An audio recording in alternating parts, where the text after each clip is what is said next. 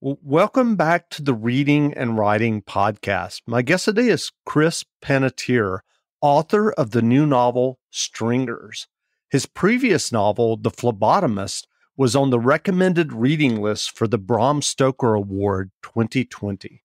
Chris, welcome to the podcast. Thanks for having me, Jeff. How are you? I'm doing well. I'm doing well. If someone listening hasn't yet heard about your new novel, Stringers, how would you describe the novel?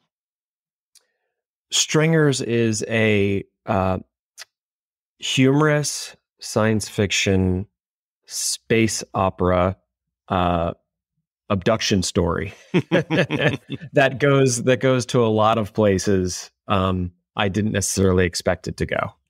And do you remember the original idea or impetus that led you to write Stringers? I do. Um, so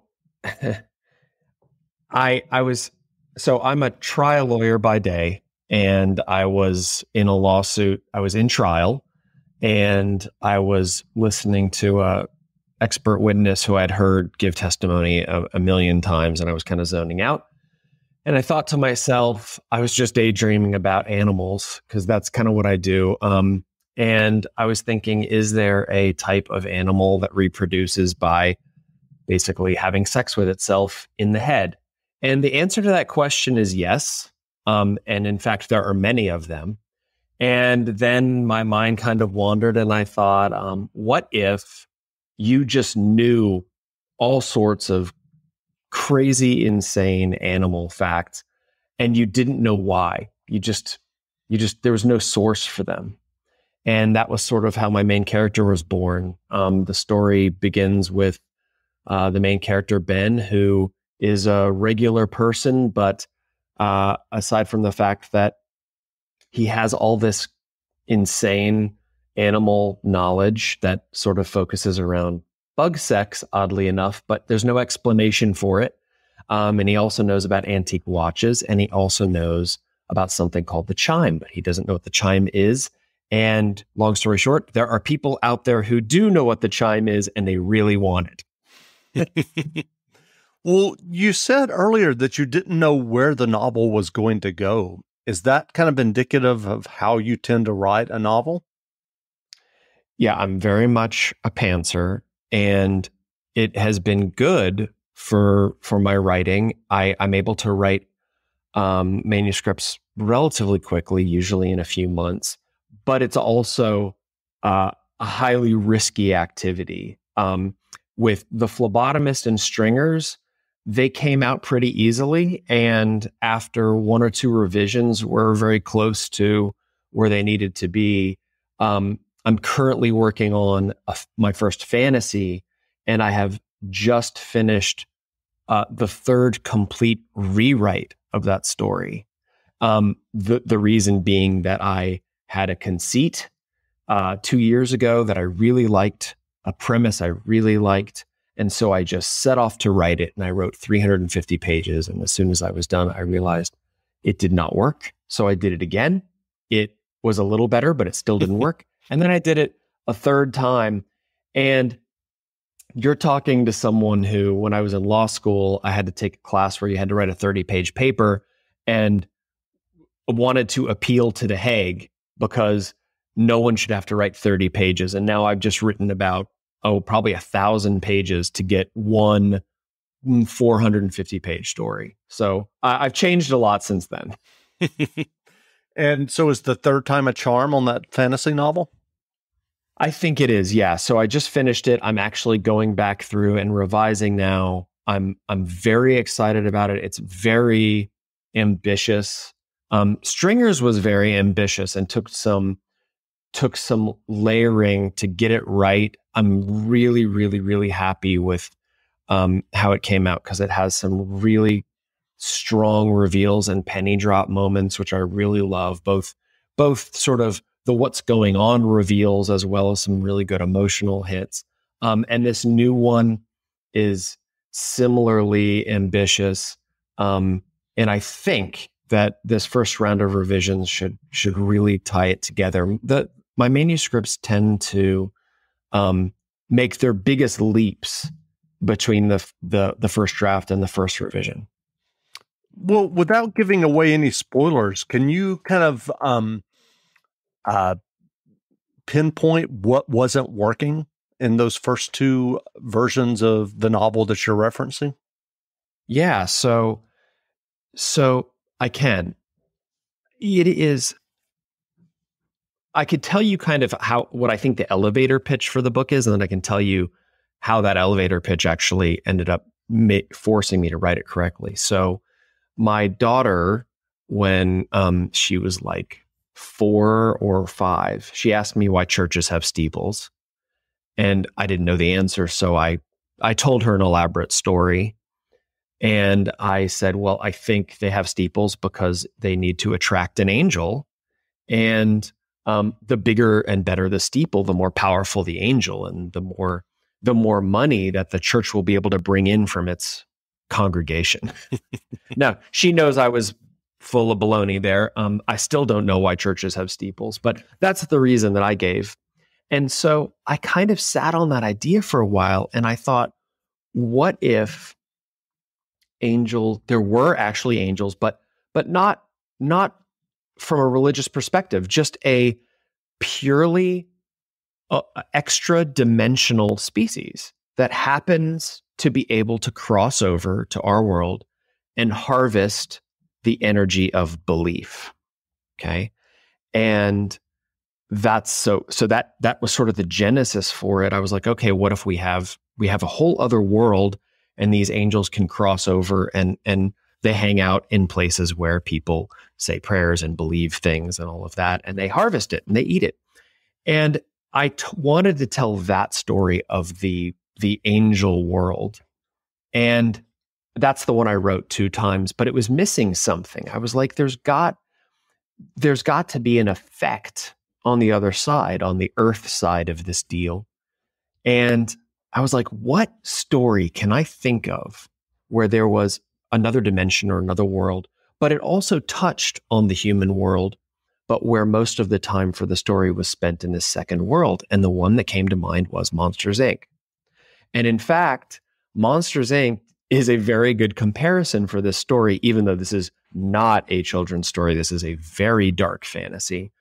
But Monsters Inc., you had monsters collecting screams. And the way they sort of told the story of the other side of the equation was not to spend a lot of time on Earth, but to have an Earthling, a little girl, come across. Mm-hmm.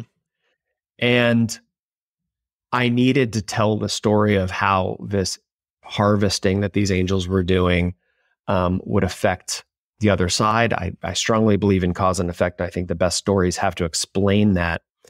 And so I thought, well, I need to have someone to come over.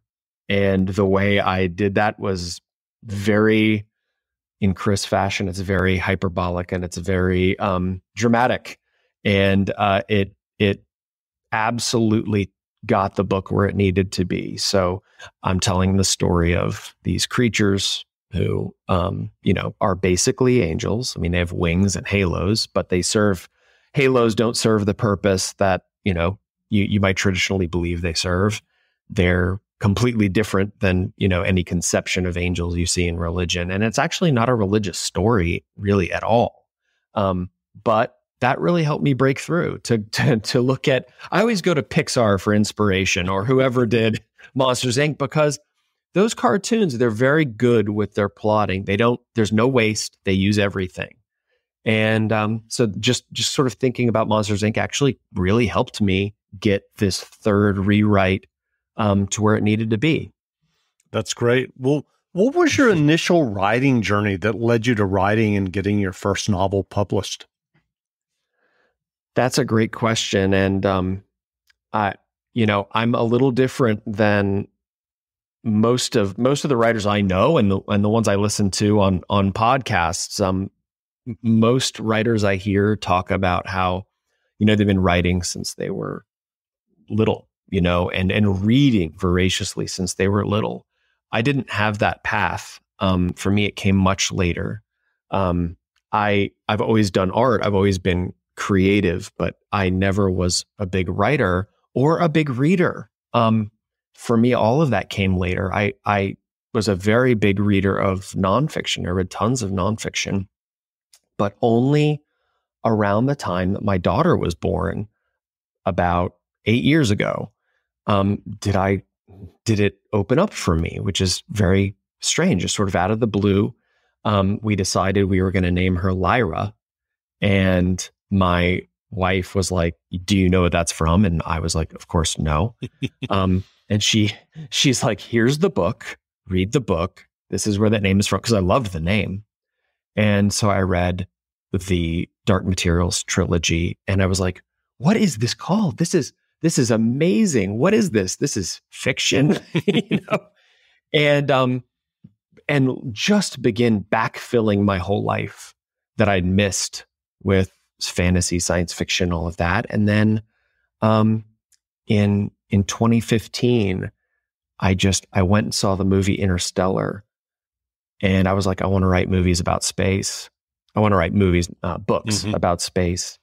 I came home and I said, I'm going to write a book. I had to Google, and I hope this is that. Hopefully, this will um, be of some help to people who are coming to it late, like I did. I had to Google how to write dialogue. Like, where does the comma go? Does it go inside the quotation or outside? That's literally how basic my where I was. And I wrote a hundred thousand word quote unquote middle grade book, which is not the correct length for a middle grade story. I queried it to, you know, 80 plus agents. Um, got a few nibbles and some very nice rejections, but nothing came of it. It was not ready you know, and I I kind of knew that, but I I wrote the best story I could write at the time. Um, I put it down. I I wrote. I started another story. Um, I lost steam around hundred pages, and then came up with the idea for the phlebotomist. I wrote the phlebotomist in about two months. I revised it over about ten more months, queried it widely, got some nibbles, um, but eventually I, I shelved it. And then I saw Angry Robot, my publisher, once a year, they accept submissions from unagented writers. And in fact, they just did that last week. So a bunch of my friends actually um, submitted to that. And they get, you know, some years they get hundreds and hundreds of submissions, and some years over a thousand. And um, I sent I, I sent them the query and the synopsis, and they requested the, the full manuscript. And three months later, in my junk email, was an offer from them to publish The Phlebotomist. So that check your junk email, exactly. people, because because I mean, I think it was because it was flagged because it had the word offer, right. you know, offer, and so it was stuck in there. And I very carefully moved it to the inbox, and um, and the rest is history. So, um, the you know, the phlebotomist was a very it was very heavy on plot. It it had a, a good premise and a good plot. Um, and I'm so thankful that um, my editor, the acquiring editor there at Angry Robot, Gemma Creffield, she liked the story and she gave me a structural edit. And you always hear of the story that you know I had to cut so much, you know, to get it down. Well, she she actually said, no, you need to add about hundred pages to this. and I added, I did that, and I I'm very coachable. And as it was my first time, I did everything she said, and she guided it beautifully in, and I learned so much. And so since then, I've taken all those lessons forward in the in the subsequent things I've written. And um, they asked for a another pitch a few weeks after the phlebotomist came out, and that ended up being stringers. And so I'm curious, are you still painting and drawing? I am, yeah. Um, I I've been doing primarily album covers for indie bands, metal bands, stuff like that. I've been doing that since about 2011, mm-hmm. um, and uh, some books I've done. I did the the cover for uh, Indra Das's The Devourers, um, which came out from I think it was Del Rey. It's uh, Penguin Random House, but I think it was the Del Rey imprint. Right. And um, I've got another one that's coming out soon that I'm not allowed to talk about, but it's it's same same publisher. And um, and then Angry Robot let me do the illustration on the cover of the Phlebotomist, which is a um, sort of an anatomical heart with some flowers uh, in sort of a medical illustration style. Um, so I've done I've done fewer books than albums, but um, yeah, and then I've got some. Um, I'm doing a a label for a gin company, so I'm doing a a bottle of gin, and I'm um, also, and then I've got one more album in the hopper. So pretty much anytime I've got one or two art projects going in in addition to them. Yep. Well, you have an interesting TikTok genre videos where you read books while you're riding a bike. What inspired you to do that? and and are you planning on being in the next Jackass movie? I, I am my own Jackass movie. I mean, um, so I, my my my sense of humor is basically I would I would put it somewhere on the spectrum of of aware idiot you know? Like i know i know what i'm doing is super stupid and that makes me kind of want to do it more. Um so yeah so books on a bike i've got i don't know i've probably got 12 videos or something. Every few weeks i will um hop on my mountain bike and just ride around the block with a hardcover uh, or with a with a physical book and i will read from it as i'm riding a bike which no one should do. That's totally stupid um, I do wear a helmet. Um, not that that would help me with any head-on collisions, um, but for for your listeners out there, it's a it's a fairly not busy area, and I do um, pay attention as best I can. But I thought it would just be funny. I mean, you can't even hardly hear what I'm saying because of the wind, and and my camera's always falling over. Um, but I do like to shout about um, books I like, and I thought it would be a unique way to do it instead of just um you know, I think the I think the book talker in, in bookstagrammer blogosphere is already quite full. There's many, many capable people who who know how to do an actual good review and a good job. So I figured I would just read a paragraph or two while I'm riding a bike and just get some laughs, you know. That's great. Well, on that note, what novels have you read recently on a bike or off a bike that you enjoyed? Well, okay, so um, I do a lot of reading of my friends' books before they come out. Um, so I'll give a shout. I just read uh, a manuscript by Caroline Hardaker, whose book Composite Creatures came out last year from Angry Robot. Um, this book, she's tentatively titled it Moth Town. I, I hope it eventually comes out. It's amazing. It's actually got a little bit of his dark materials feel to it. Um, so that's not a book anybody can buy, but for books people can buy, I'm looking at my um, bookshelf here. So uh, I have just finished City of Saints and Madmen, um, the part of the Ambergris trilogy by Jeff Vandermeer, which just blew my socks off. I finished The Second Bell by Gabriela Houston.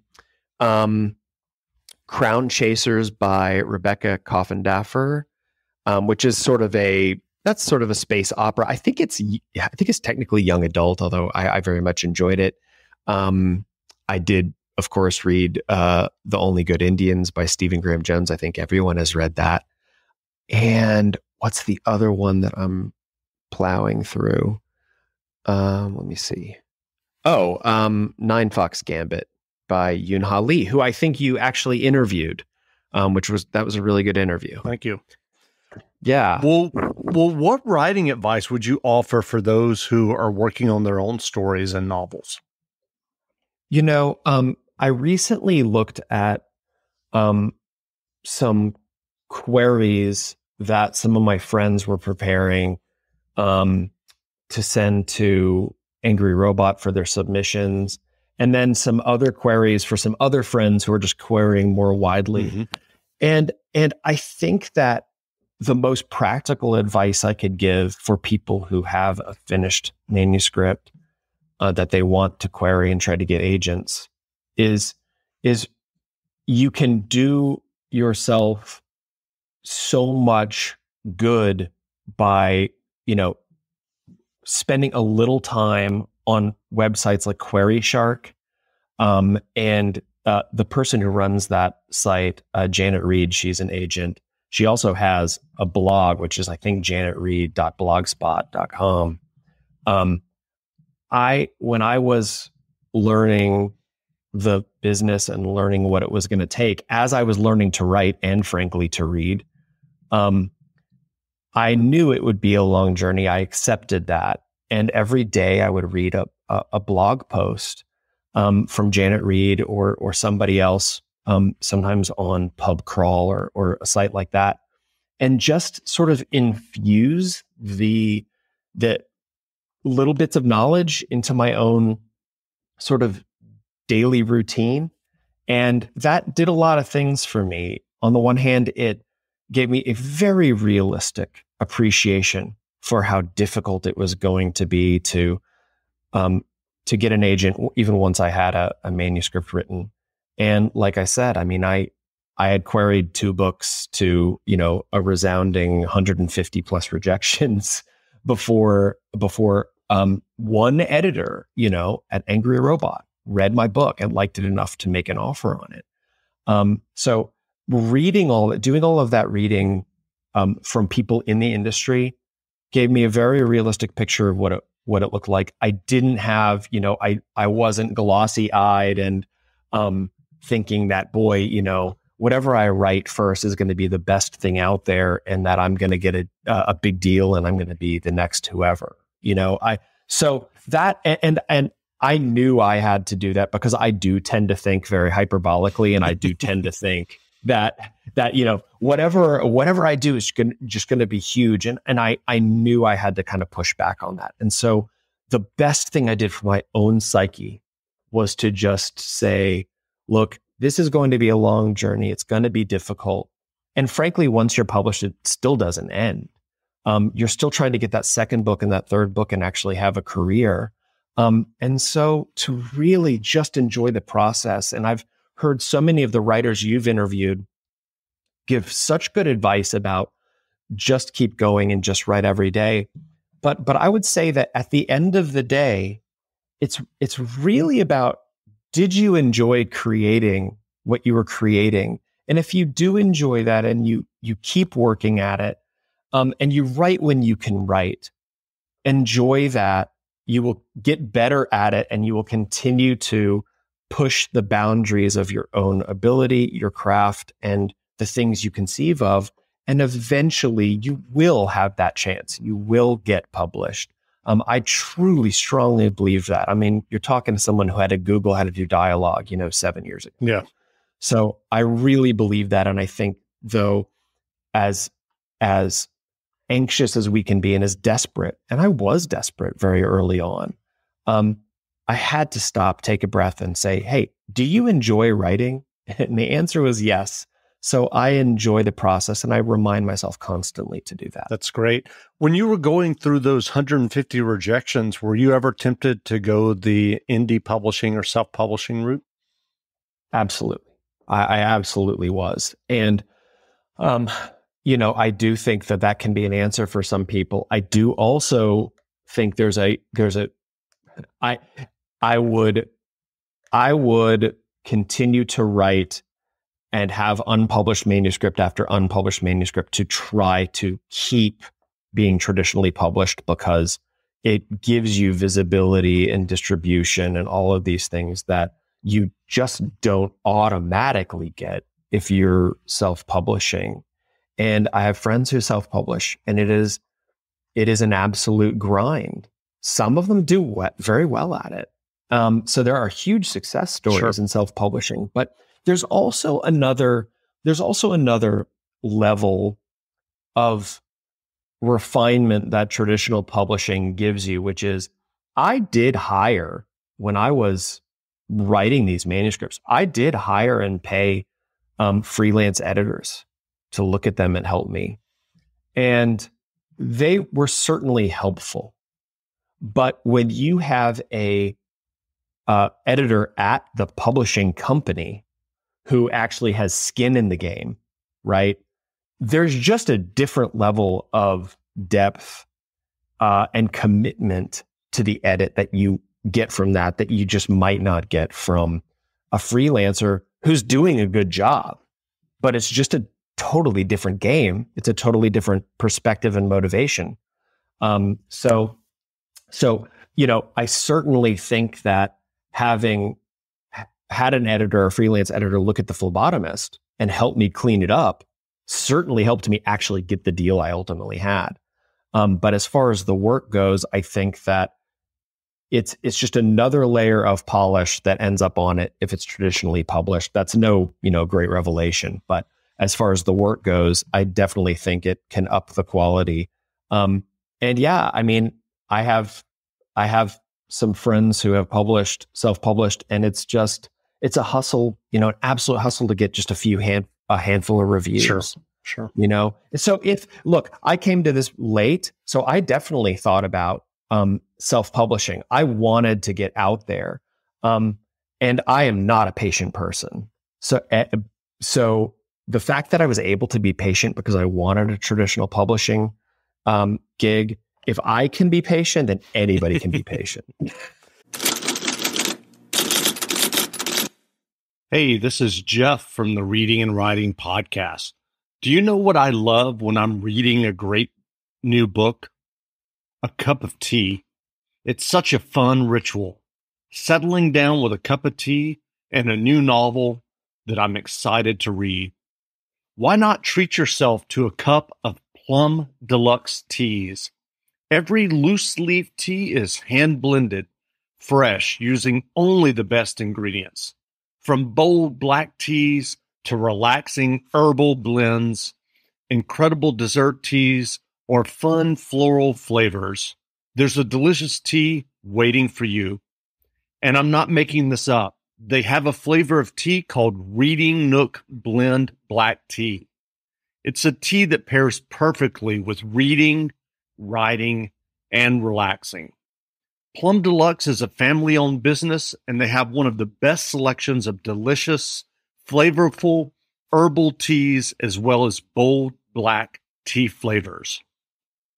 Visit plumdeluxe.com slash listen and use the promo code RWP to save 12% on your first order. Tea also makes a great gift. That's plumdeluxe.com slash listen and use the promo code RWP. There's nothing better than enjoying a great cup of tea with a good book. And now you can get your great tea from plumdeluxe.com. Hey, this is Jeff, host of the podcast.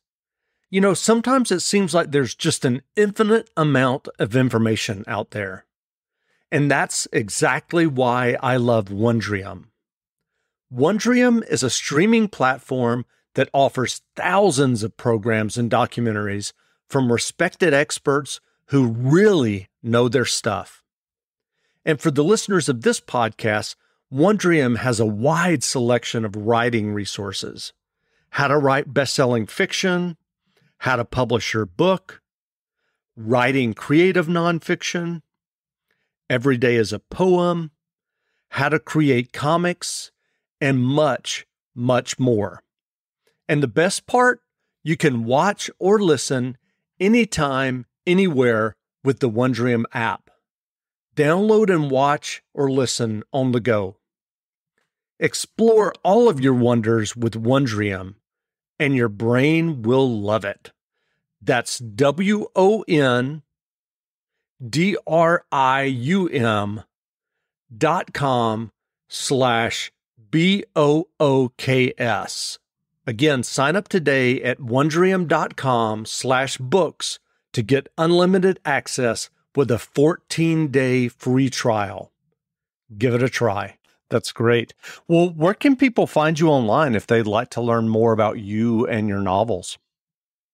Okay. Um, my website is chrispanatier.com and it's got links to a bunch of stuff. Um, and uh, I'm on Instagram at Chris Panatier, uh, Twitter at Chris J Panatier, and of course TikTok, where you can see me do books on a bike and not do as I do. Um, I think that's at Chris Panatier right. too. Um, so yeah, that's that's pretty much everywhere I am. That's great. Well, again, we've been speaking with Chris Panatier, author of the new novel Stringers. The novel is available now, so go buy a copy. And Chris, thanks for doing this interview. Thanks so much, Jeff. I, it was a pleasure to be here. Great. Thanks a lot. Here lies Ben Sullivan. Died in space. Couldn't open the pickles. Chapter 1 Jim's in the store again. Jim doesn't buy shit. Morning, Ben, said Jim. I'd always liked Jim, but he'd never so much as flirted with a spool of 5X tippet. You going out today? I asked, flipping the magnifier up from the brim of my cap. Yep, he answered, fingering some light wire hooks on a rack. You know those are for sale, right? You can buy them with money, and they become yours forever. Jim didn't respond, ambling instead to another rack of fly fishing goods he also wouldn't end up purchasing. I knocked the magnifier back down and returned to wrapping a yellow midge. Hey, said Jim, just as I'd regained my focus. What do you call that fly you made for Winston Hollymead? He won't shut up about it. He's throwing all these numbers at me that sound ludicrous. A 25 pound post spawn striper? In the Pawnee? He blew a raspberry. Makes no sense. I chuckled pretentiously at Jim's underestimation of my work. It made a lot of sense if you knew how to get unhorny fish to bite like I did. The Alpha Boom train isn't just for striper, I said with a shrug. It'll work on any post spawn perciform. They like bloodworms. I don't get you, kid. I'm 29. Alpha Boom Train? Flies ain't supposed to have names like that. Customers are supposed to buy things. What a paradox. He directed a finger lazily in the direction of my fly tying vise. Need you to make me one of them boom trains then, he said, issuing an edict as if I were his personal river Sherpa. Sure thing, Jim, I answered. Will you be paying for it, or just putting it on layaway until the rapture? I'll pay if it looks right, he said, heading out. He pushed the door open, then stopped, half in, half out, sending the electronic chime into a recursive death spiral. How you know so much about spawning river fish anyway? You ever even been out of Kansas? Now I could tell him the truth. I could explain the things I know, that my knowledge goes way beyond fish sex. I could tell him, for instance, that the flatworm Macrostomum hystrix reproduces by fucking itself in the head. It's called hermaphroditic traumatic insemination. I could tell him that the practice isn't isolated solely to hermaphrodite worms either. Sea slugs, Siphopteron species 1. Oh, here we go, doing the scientific names showing off thing. Also hermaphrodites, fuck each other in the head. They do it with a two pronged dong, one of which is called the penile stylet. I could shock his system with the revelation that earwigs have two dicks. There's a trick dick in the event of a broken penis. Or take him on a tour of class mammalia and into the dens of prairie voles, who are affectionate and monogamous with each other unless the male is drunk, in which case he pursues anonymous hookups. That dolphins will fuck literally anything. That porcupines flirt via golden shower. I could tell him these things I know, but then I might have to explain why I know them. And that I am unable to do so I answered his question with the simple truth. I just know, Jim. That internet, then, he said, answering the question for himself. See you in a few days, kid. I flipped down the magnifier. Jim? The truth is, I was jealous of Jim, of his obliviousness, his ability to step into the world from the shop and move on with his life, while mine never changed. Wherever I went, my brain came with, bringing along its innumerable tidbits of faunal knowledge which infected my every thought. There was no explanation and no apparent source, and it would have been completely useless if I didn't work in a fishing shop trying to figure out new ways to get post coitus fish to bite at fake bug larvae. I'm no fly fishing fanatic. I'm just too distractible for any other job. Every waking moment is a constant barrage of intrusive thoughts, with even the most innocuous stimuli churning up commentary from deep within the folds of my brain. Koalas and koala like animals have smooth brains, a condition known as lissencephaly. Kill me. See? I've tried training myself to think of it as background noise, but it's tough to tune out when your overactive brain is also an asshole. I'm just a distilled version of you, buddy.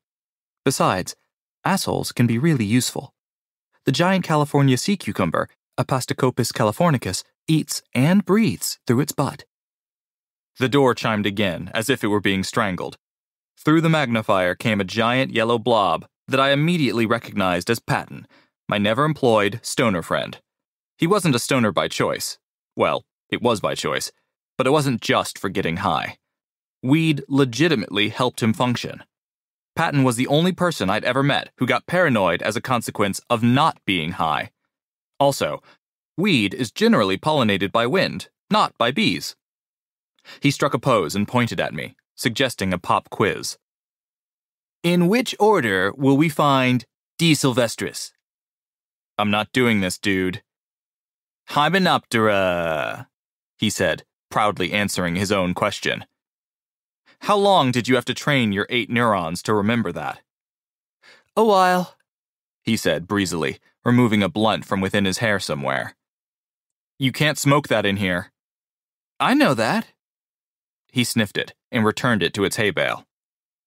In one of his many attempts to push me to broaden my horizons, Patton had tried to get me to audition for Jeopardy, R.I.P. Alex Trebek, convinced I'd make a bazillion dollars. What he failed to appreciate was that the only way for me to win would be if every single category was natural science. I don't know jack about much else. Okay, I also know a lot about clocks, mainly watches.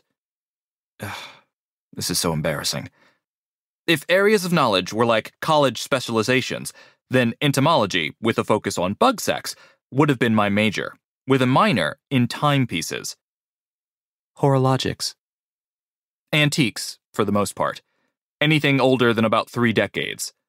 Imagine seeing a watch and having your head suddenly flooded with facts about said watch, while at the same time not giving two shits about the watch or the facts. A $6,000 Rolex that gains 5 seconds per day is said to be within tolerances. That's over $1,000 for every second it steals from the universe. The NASA astronauts who landed on the moon were wearing Omega Speedmasters, all except Neil Armstrong, who left his inside the lunar lander as a backup clock. Watches on display are almost always set at 10 past 10 or 10 till 2 because the hands form a smiley face, a subtle form of suggestion for the prospective buyer. Do I come from a family of watchmakers or antique dealers? Nope. I just know. And it's exhausting.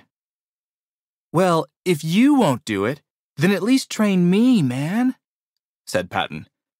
Be like my game show sensei. Just put all your knowledge up here. He popped the side of his head with his palm. Plenty of room. I know, right?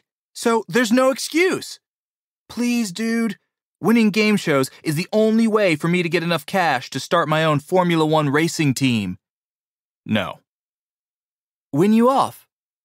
Seven. Want to get wings? He asked. No, busy. Not research again. Come on, dude, every night? You know the drill, I said. It's Friday, though. Friday. I gave him serious guy face. All right, he relented. Roll over to my place in the morning. Aunt Lisa will make us chorizo empanadas and refried beans, and we can play Simon. The original Simon was first marketed by Milton Bradley in 1978 and later on by Hasbro. The console has four colors red, blue, yellow, and green, running clockwise from the upper right. The colors light up with a corresponding sound in a random sequence, and each player's challenge is to repeat the combination exactly. Your Aunt Lisa microwaving frozen breakfast empanadas is not making breakfast. And I'll pass on the beans. But Simon is awesome. I'll be there. Yeah! He reached around the counter and patted the underside of that bit of my belly that hangs over my belt buckle. I fired a palm into his sternum, and he crashed satisfyingly into a rack of indicators. Dude! He wheezed, accepting my justice. No more fat slapping. Jesus Christ, man, grow up. He staggered away from the rack and smiled passively at the door. Okay, bro. Whatever you say. Hasta mañana. Spanish. Wow, really? Bye. See you tomorrow. Empanadas. Yeah, bye. I needed to get to the library, but I also wanted to finish off a fly I'd been tying, a Hutch's Pennell, for one of the area's best anglers and possible future wife of me, Agatha Jensen. It's used in the UK for catching coastal sea trout, but it also closely resembles the sedge flies that the local bluegills, Lepomis macrochirus, love to eat. When I started tying them a year ago, the locals couldn't get enough, and it kept the shop owner, also named Jim, I call him Owner Jim, pretty happy. I could do them in my sleep. Size 4 hook, black 8-0 thread, a red tippet, peacock herl, zebra hackle, and silver wire for the rib. Fly fishermen were always looking for an angle. Anglers, right? And this Pennell had them shelving their silver sedges, the traditional go to when throwing loops for fish that go for the caddis fly. I tied in a white hackle feather, wrapped it with thread, thickened the front of the hook to form the fly's head, and tapped a bead of glue at the top of the shank just under the eye. After locking up the shop, I had 30 minutes until the library closed, which was fine, because I already knew the book I'd reserved was waiting for me. I jumped into the used Subaru that I'd bought after graduating high school. At the time, I'd let Patton talk me into souping it up so we could race it on weekends. In actuality, that always seemed to get sidelined by our full schedule of being stoned. Now, I just had a car that sounded like a weed eater in a porta potty. But it was fast, and I got to the library in 16 minutes, per my $25 Timex brand digital wristwatch, which does not gain 5 seconds per day, unlike a certain unnamed luxury brand performing within tolerances. It's Rolex. I know. Ben. Ludlow the librarian, I said, miming the solo sword dance of Conan the Barbarian, as played by Arnold Schwarzenegger. Ludlow was similar to a barbarian, if you replace the muscles with nougat and the leather armor with black nail polish. I got your book right here, reserved for Ben, he said, tapping a lacquered finger on a sticky note reading the same. Oh, great, thanks, I said, rolling up to the circulation desk. Ludlow prepared to scan in the book, pausing first to consider the cover. He pulled his long, warlock black hair behind an ear. I could see a question forming. Oh, here it comes. You studying to become a psychiatrist, Ben? Uh, no, Ludlow. I didn't have much more of an answer for him that I cared to give, though he was well aware of my borrowing history. Just a hobby, then? Remote viewing? Claircognizance? Not so different from your weekly seances, I quipped. You get up in all your customers' business? Only if I think they might be performing witchcraft. Afraid you won't be invited? I'm talking about. He lowered his voice. The occult. I stared at him incredulously. Have you seen yourself, man? He recoiled with offense. I'm a goth, Ben, not a Wiccan.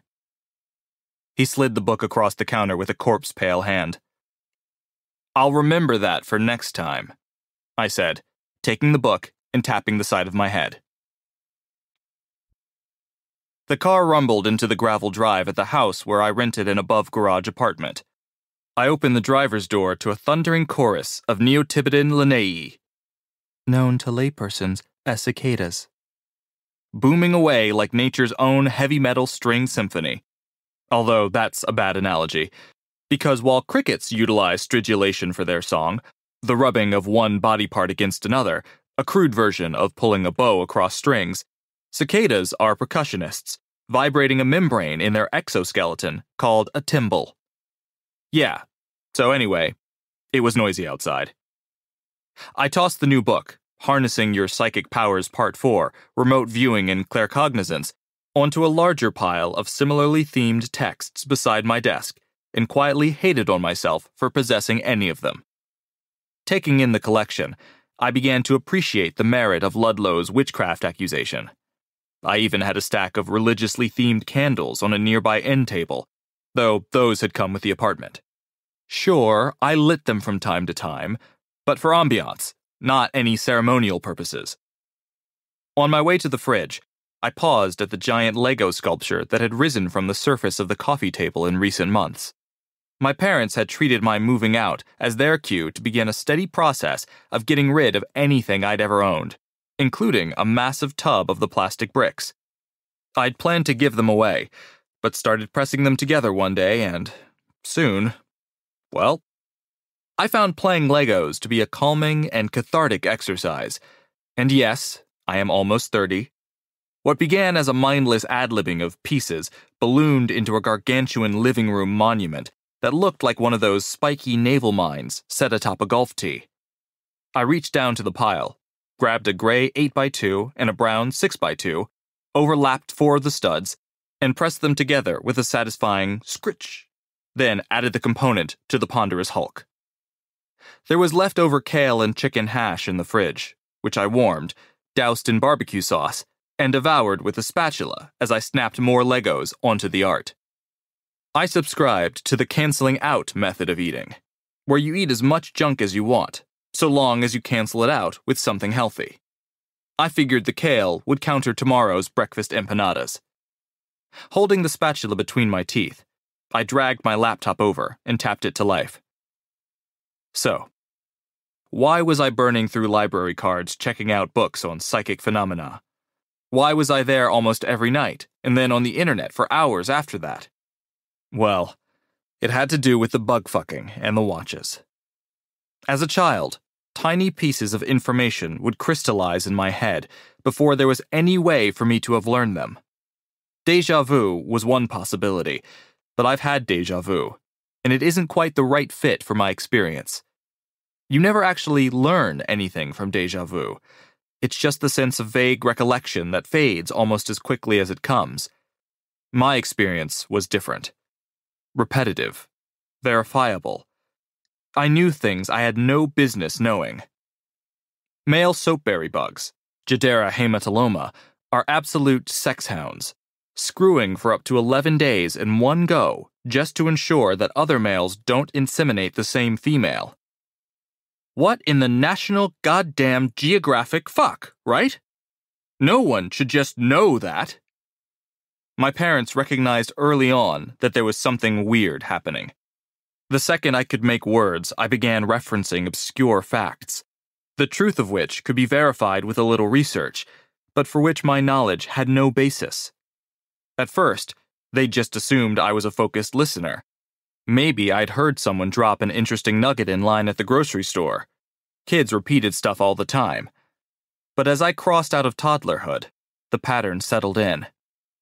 Instead of the occasional passing fact bomb, I might give a play by play of the mating habits of Brazilian bark lice, leaving out no detail. In between bites of mac and cheese, I'd let slip that the female actually has a dick that she uses to scoop sperm from the male bark lice's vagina. I remember my parents being in such awe of science that they'd not cared that I was blabbing about insect uglies at the dinner table. So off I went to the pediatrician for the basic is this kid okay? No. Checkup. And on from there to the child psychologist. My parents explained to her that I was some sort of genius, but a few simple tests quickly dispelled that hypothesis. Unperturbed, they insisted on a full battery of IQ tests, which were conclusive. I was solidly average, entirely unremarkable. I was simply regurgitating information and terminology of unknown provenance. They went for a second opinion. My scores went down. I was a parrot, not a prodigy.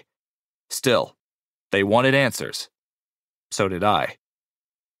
A barnacle of kale and chicken plunked on the laptop's touchpad. I set the spatula down next to it and eased it back on board with my pinky, then hoovered it up. Together, my parents explored every contrived and far flung theory to explain my curious condition going so far as to accuse me of reading books in secret. Sneaking off to read? I mean, do people do that? Certainly not me. I had video games to play and snacks to eat. which I then later canceled out with different snacks. There was a phase, thankfully brief, where my parents became quite manic in trying to answer the ultimate question. The house was filled with books on gifted children, from verifiable prodigies like Bobby Fischer, youngest ever U.S. chess champion at age 14, Blaise Pascal, French inventor and mathematician, authored a treatise on projective geometry at age 16, and Maria Agnesi wrote solutions to complex math problems in her sleep. To the entirely paranormal, ghost possession by historical figures unwilling to cross the river Styx. They got into psychophony. Spirit speaks through a medium, me in this case. Retrocognition, knowledge of a past event which was not learned or inferred. Transference, how doctors say possession.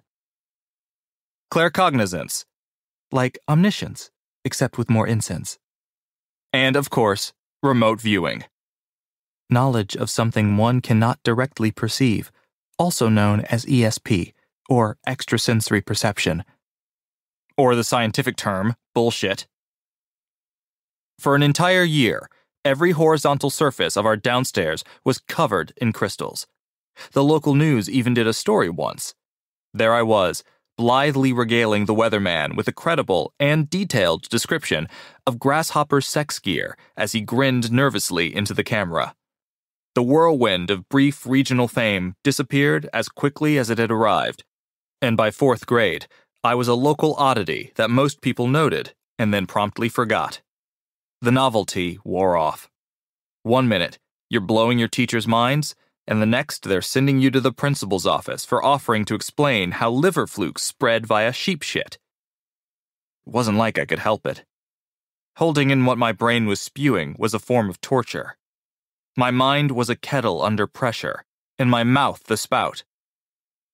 Ultimately, my parents kept their sanity, resolving to accept the way I was. It wasn't like I had a disease or anything, just an interesting glitch in my wiring. A mutation, maybe. It was a party trick, like being double jointed or popping out an eyeball. They moved on. I couldn't. You can ignore another person if you want. Put on headphones, tell them to buzz off if they won't take the hint. Brains are different. We never take the hint. You're a captive audience to an unfiltered version of yourself.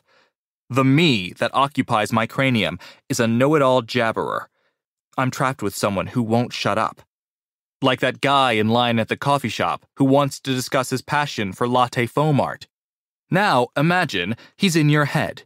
But instead of heart doodles and bubbled milk, it's precision timepieces in the toothed vagina of a cabbage white butterfly. Just imagined it. Sleep is my only respite, and even then, the thoughts creep in. I lit some of the candles, illuminating four different versions of White Jesus, then hopped on the internet to begin the evening search, as I did every night. Knowing what I know has never been a gift, and I was singularly driven by an obsession to find the cause.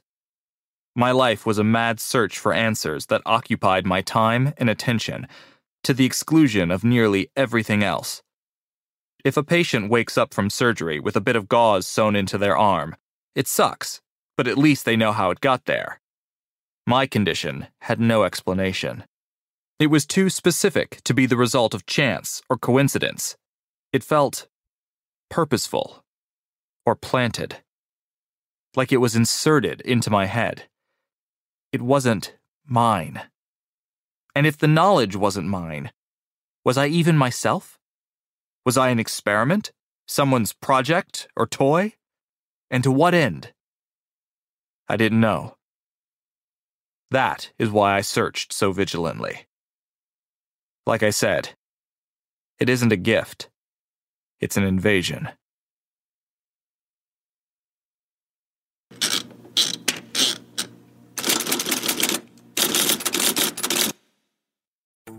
By now, you know that sound. It's the sound of the Home Depot. But what about those sounds? Those are the sounds of a new laundry set that provides a powerful yet gentle clean in less time, making this the sound of savings on top brand appliances. The Home Depot. How doers get more done. Get up to 25% off plus 750 instant savings on select appliances. Valid June 22nd through July 13th, US only. Gas Dryer Extra. See store for details. This week on RVER, sponsored by Progressive Insurance. Ah, that new doctor is drop dead gorgeous. Ah, please, he's just another RV League educated surgeon with good hair. No, he's different. Nurses, we got a Class C motorhome with a detached driver's side mirror. Meet me in the OR. Stat. Right away, No, doctor. no, no, she's on break. I'll handle this one. Oh, you conniving little. When your RV really needs saving, Progressive has you covered. See if you could save with a leader in RV insurance. Progressive Casualty Insurance Company and affiliates covered subject to policy terms.